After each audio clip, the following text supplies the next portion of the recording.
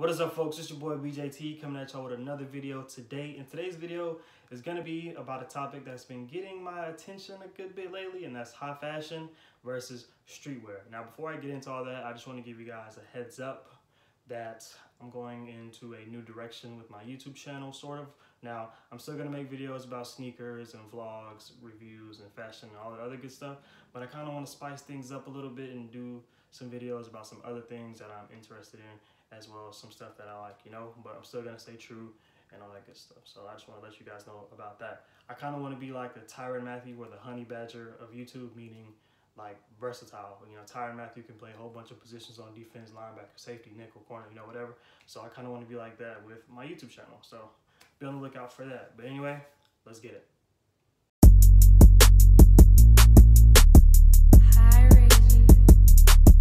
All right, so for starters, there's a lot of high fashion brands and there's a lot of streetwear brands. Some high fashion brands that are up there.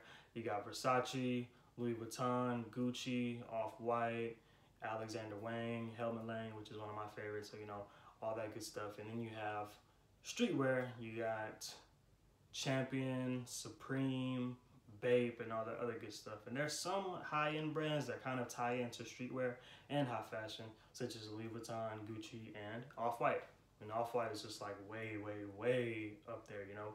But there's a lot of differences and some similarities between the two you know, with high fashion and streetwear. Now it could be how they look, the material, the design of things, and how much they cost. Because prices were really, really, that is a big difference. But you know, I see a lot of hype beasts wearing like Gucci, Louis Vuitton. You know, Louis Vuitton has done collabs with guys like Supreme, and you know, you know the whole Supreme box logo and the jeans and the jean jacket and the parka and all the other good stuff. And then you have Bape. That's a really high up streetwear brand as well. They done collabs with Adidas and you know all that other good stuff. And then you got Yeezy and just really literally everything else. You know, you guys know all about that stuff. Probably more than I do. I don't know. But yeah. So, but right here we have some you know high fashion. I could say. Um, t-shirts right here. You got a Versace collection t-shirt and you got a Alexander Wang oversized t-shirt. So right there, um, I got this from Barney's and this from Saks. And then right here, you got this lifted anchors t-shirt that I got from Seven Exchange. So shout out to Seven Exchange. This is really giving me these off-white vibes. So I'm gonna kind of compare these shirts. I might add in something in there, but I'm gonna compare the pricing, the design, how they feel, material, and everything else like that. So we're gonna do that right quick, you know? For starters, let's talk about the price, because that's a really, really, really big deal when it comes down to the point. Now this shirt is from Alexander Wang, which is a prominent designer. I got this from Barney's. This was about 200 and something dollars, this oversized t-shirt, but I got it on sale. So shout out to Barney's, only got it for like way cheaper than that. So, you know, that's all good and dandy. And then this shirt, Lifted Anchors, this is more in the streetwear type of field rather than high fashion. So you see this, Lifted Anchors, this is about $50. So yeah, but another difference with these kind of things with high fashion and streetwear is the material. And you can see and you can kind of feel it. I mean, you guys can't because I'm obviously right here and you're not, but you can kind of feel it. You can see what the material is made out of and it's really soft and it's just, you know, really high quality. And then you go with the streetwear shirt, lifted anchors, and then you just kind of feel around. You can you can kind of see the quality difference in it just, just by looking at it you know, it, it doesn't feel like uncomfortable or anything like that. It feels really good, but you know, the high fashion, the more expensive one feels a whole lot better, you know. But nonetheless, they still look good either way. So, and then this was made by designer Alexander Wang, and this was made just by a brand Lifted Anchors. So you can obviously see that, and then you can feel the quality difference and just everything else like that. But it's really up to you. Some people want to go with the more expensive option. Some people want to go with the lesser option. Some people do both. You know, I like doing both. Not everything has to be super, you know, crazy, you know, whatever, and not everything has to be all hype. But it really just depends on what you like, you know. Now you have this Champion sweatshirt, as you can see. Shout out to Champion, which is another really popular streetwear brand. So the material for this sweatshirt, it feels good. You know, feels good on the outside and the inside. You guys can see that it's really comfortable, and it's really, really warm.